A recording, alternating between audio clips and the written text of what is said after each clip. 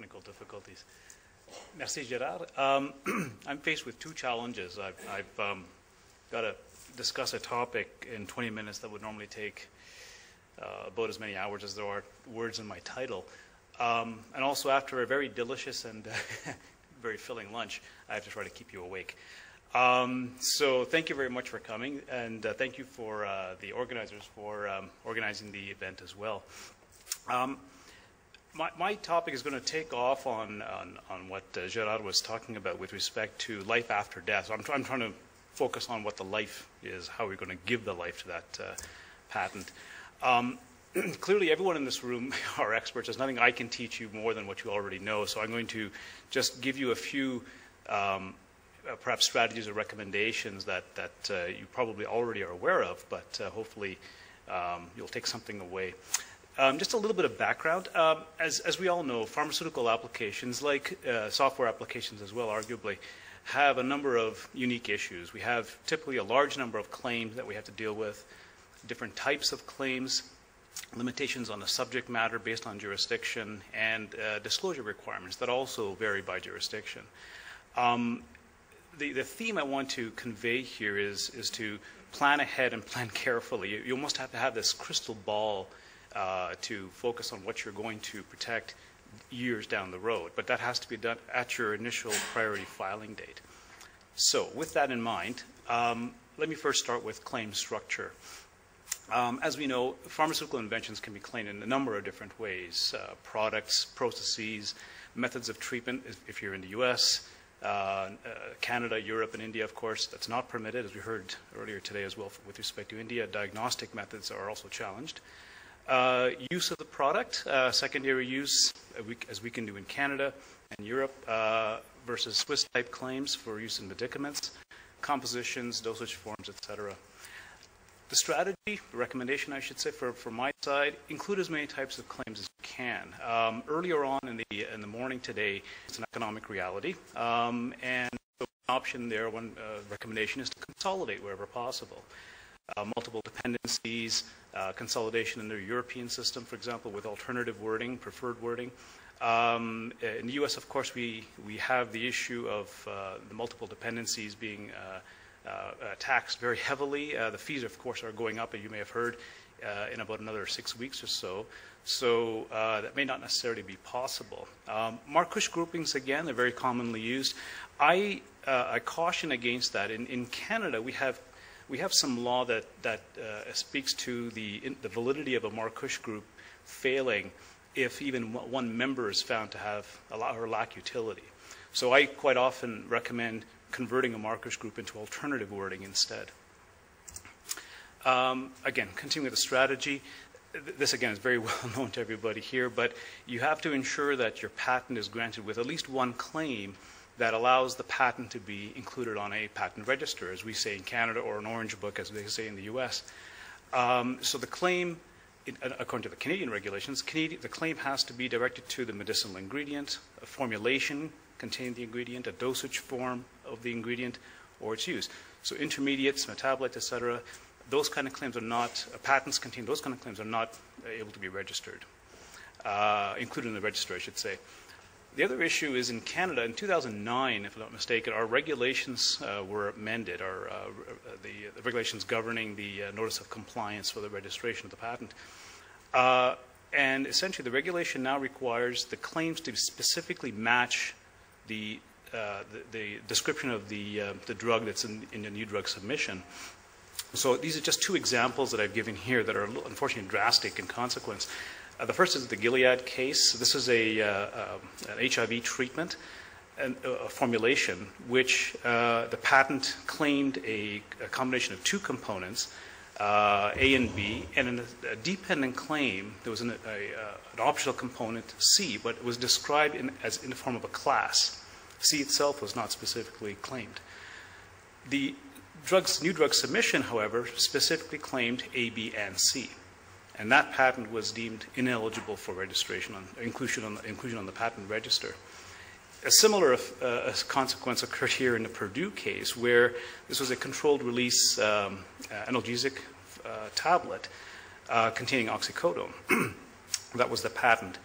The NDS, however, claimed oxycodone with another uh, medicinal ingredient. Again, the patent, because it didn't claim that specific combination, was not was ineligible for inclusion on the list. Now let me jump to unity of invention. Again, I'll be very quick on this one because we're all familiar with the issues. Again, a patent can only be granted for one invention. Uh, now the criteria, of course, as you all know, I'm sure by experience, does vary from jurisdiction to jurisdiction. Uh, in some countries, uh, like Canada and the U.S., we're, we're very fortunate that uh, um, if, in the case of a unity of invention issue, the examiner will issue a uh, restriction requirement, and we're able then to choose, uh, the applicant is entitled to choose which invention they want to pursue in, in the patent application. Other, the other inventions can be pursued in divisional applications as, as, as needed. In other jurisdictions, like for example in PCT in Europe, if a unity issue is faced, the examiners look at the first invention recited in the claims. Um, especially in a PCT case, uh, unfortunately, the only way to, at, at, the search level, the only way to deal with that issue is to pay the additional search fees if you want second or third inventions to be searched as well. So it does get ex- potentially expensive. So the strategy here, again, is anticipate these unity uh, rejections. And what I try to recommend to clients is, is if you have a preferred invention uh, that is included in the claims, try to recite that first. So when it gets to jurisdictions like PCT or Europe, that invention, your preferred invention, is reviewed first. Uh, as I mentioned, in, in uh, uh, Europe, we have this two-year problem for divisionals. So even though you have the right to file divisionals, we have the issue with respect to this two-year problem, as I put in quotes. In Canada, we have uh, another, uh, another problem with respect to obviousness type double patenting. Uh, this prohibition is also existing in the US, but unlike the US, we don't have a terminal disclaimer practice. So if you have a divisional application that is directed to an obvious invention over the parent case, the divisional patent, once issued, potentially could be uh, invalidated as being obvious. Um, the way to get around that uh, is to essentially draw a restriction requirement from an examiner, and that essentially insulates you from that type of attack. Um, so for that reason, the advice, of course, is to put all your claims in, present them to the examiner, draw the restriction requirement, then you're free from the obviousness type issue. Um, I added India in here in the, uh, in the first day of the, of the seminar. I added this slide, actually, this, this one line. Uh, there was a speaker that had mentioned that in India there's apparently, again, an issue with respect to divisional applications being revoked for obviousness, uh, obviousness issues. It's, it's, that's news to me, so I'm going to put it in as another warning. Uh, utility. Now, this is, this is a bit of an issue here in Canada, and I'm sure you've heard um, uh, the, some of the cases that have occurred recently in the last few years. Again, as we all know, a claimed invention must have utility. um, so in Canada, uh, using our regulations, um, the utility of invention must be, as of the filing date, either demonstrated or reasonably predictable. Uh, the demonstration of utility does not require the data to be presented in the specification. You can refer to it in past tense, for example, and that's fine. Or if it's ever challenged, as long as you can present the, uh, the evidence of the, of the demonstrated utility, you're again fine. The issue comes, though, when you get to the reasonable prediction issue, when you want to broaden that scope. Under our law, under the Supreme Court decision that we have from a few years back, in order to substantiate a reasonable prediction, there has to be a factual basis for making the prediction and then a, uh, a sound line of reasoning extending the, the, factual basis to the predicted utility of the, of the entire scope of the claim. The part three of that test is both of those factors must be contained in the specification. So post-filing data is not allowed, and you can't go back after the fact and say, well, here's this is my factual basis, uh, or this is the, the line of reasoning that I used. So the the takeaway here, my, my recommended strategy here is to tell the story, explain in very, very simple terms from start to finish how the invention was arrived at. If you do that, in most cases, you'll be, you'll be taking care of your reasonable prediction requirement under, under our law. Uh, and, and again, I mentioned here, include the data wherever possible. Even though your demonstrated utility does not require data to be included, it's still a very strong recommendation to do so. I'm going, to discuss the uh, very recent um, Supreme Court decision on the Viagra case, and that'll sort of hit home on that. Uh, disclosure requirements. Again, the invention has to be sufficiently and accurately disclosed to enable uh, a person skilled in the art to practice it. That, again, is very common in most jurisdictions. We heard uh, earlier today on the, uh, on the requirement in India, and uh, it's very similar to the way we have in Canada. The, the way our courts approach it is it's a two-step, it's a two-part question. One is what is the invention and how does it work? It's very straightforward, but as you, as you well know, answering these questions in detail in the specification is not necessarily easy all the time. Um, so uh, I mentioned the Viagra case. Let me just very, very quickly touch on this. You probably already are aware of it, but this is a Supreme Court decision from um, uh, just a few uh, uh months back. Um, the, uh, the patent related to Viagra, sildenafil citrate, um, the specification disclosed a broad genus of something like four or 500 quintillion compounds. Um, the patent goes on to indicate that there were nine that were reviewed, and then it says one, and I put that in quotes because it says one was found to be effective. It didn't identify sildenafil citrate, unfortunately, and there was no data presented. It was just, it was just a uh, commentary, one sentence commentary. Um, the claims recited the broad genus and as well as the two, two specific compounds, one of which was Viagra, sildenafil citrate.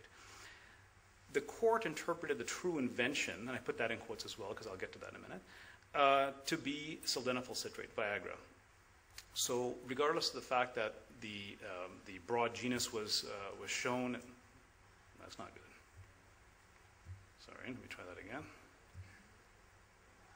Okay, so regardless of the fact that the broad genus was claimed and the specific Viagra sildenafil citrate compound was also claimed, um, the, the patent was found to be, uh, uh, uh the invention of the patent was found to be just the one uh, comp compound by itself. Because that compound was not disclosed in the specification, the, the, patent was deemed void for lacking a sufficient disclosure. Now, the interesting point here is Teva also attacked utility, saying that the utility of specifically sildenafil citrate wasn't shown. The court tossed that argument out on the basis that because the utility was demonstrated, and as I mentioned before, demonstrated utility does not require disclosure in the specification. So the utility argument fell unfortunately, the sufficiency of disclosure argument was, um, was found to be the nail in the coffin. Um, now, I mentioned the true invention, or what's referred in our uh, body of law as developing in Canada, as the promise of the invention. Um, the promise of the invention is, is a, it's a concept that started developing about five years ago or so in Canada but, but through our courts. And the whole point of it is review, reviewing the patent specification to identify what is the invention? What is the, what is the patentee claiming, or what, what has the patentee invented? Now, once the, the promise of the invention is determined, then the utility and disclosure requirements are reviewed. So it's, it's, it's done in a uh, top-down type of manner. So clearly, as you can, uh, you can appreciate, if the promise is construed by the court to be something different than what you intended, you have a problem because you may have framed your specification along one thought line and then the court says, no, no, that's not your invention. Your invention is this. Now show me where your disclosure is. So it's a, um, uh, it's a bit of a, a, a, trap we have to be very careful of. And as I mentioned here, several uh, pharma patents have been invalidated for uh, uh lacking either utility or disclosure based on how the promise was construed. So what's the strategy here? Um, I'm repeating myself because you have to be very careful again, put all your information in. Um, and as I say here, define the promise of your invention very clearly. Um, eh, don't leave it up to interpretation because it could be possibly interpreted incorrectly. So try to be as clear as possible in terms of what you're promising your invention to, to provide. And once you do that, then in the drafting phase in your specification, provide all the information that you need. So all the support for your disclosure requirements, the utility requirements, as I mentioned. If you're uh, basing the invention on a predicted utility, again, the factual basis, the, um, the line of reasoning, et cetera, explicitly put that into your, into your specification. Um, just very quickly, just some examples here. When you're promising, for example, therapeutic efficacy, again, try to put in as much of your data as possible, the in vivo data, in vitro data as well. If you're promising a treatment of a chronic condition, I'll touch on this one case very, very quickly in a second. Um, again, it's going to require some long-term study. If it's a chronic condition, you're treating something chronic. If you have a, a study that only lasts for a week or two weeks or a month, it may not necessarily be deemed sufficient to warrant a treatment for a chronic condition. Um, selection patents, I'm almost done. Selection patents, uh, again, as we know, it's directed to a species of a known genus. Could be one, could be many of the, uh, of the species. Um, again, these are patentable, but again, they have to meet certain criteria. Um, uh, for example, in, in, Canada, one of the we have a Supreme Court decision that, uh, that, that stipulates that in a selection, all members must have some advantage or overcome some disadvantage. It's got to have some special feature over the other members of the genus. And all the members of that species must have that feature. Uh, it doesn't necessarily mean therapeutic efficacy. For, for example, bio increased bioavailability would also be considered a special feature. Uh, as I mentioned here, if you compare that with the 3D issue uh, from, uh, that was uh, mentioned earlier today in the uh, talk with respect to India, there's, a, there's a, obviously a difference there. Again, the strategy here, clearly define in the disclosure what your promise is again. so if the promise of your, of your, your selection, that is, sorry, so again, what is your selection? What is that feature? What is the advantage that your selection is offering? Define that and then back it up with the proper disclosure to support that promise.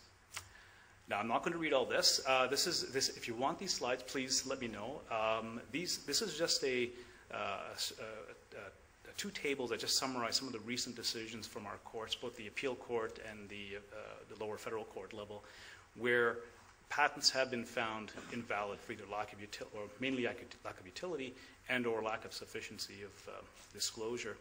Um, the one I was going to mention very quickly was uh, the second down, the atomoxetine uh, decision. Uh, this is Lilly v. Teva. Um, this was a treatment for ADHD. and I mentioned the chronic condition issue, and this is very quickly what I want to touch on. Um, the, uh, uh, the, the invention related to a compound that was treating ADHD. The, the court interpreted the promise of the patent to be just that, treatment of ADHD, but interpreted ADHD as a chronic condition. This is not a cure for ADHD, it's a, it's a treatment for controlling the effects of ADHD. So the way the court interpreted it was if you are providing a drug that's treating a particular condition on a long-term basis, there's got to be evidence of that. So have you demonstrated that it, that, it's, uh, uh, that it has efficacy over a long term? No. There was no evidence of that sort. Do you have then the, the, the backup for the sound prediction that it would be usable uh, over a long term?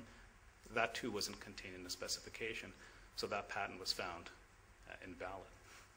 Uh, the, the next one down uh, with respect to the uh, treatment of glaucoma, same issue there again. So again, I'm not going to go through all these, um, but certainly more than willing to give you the slides if you want to take a look at them. And that is all I have. Thank you.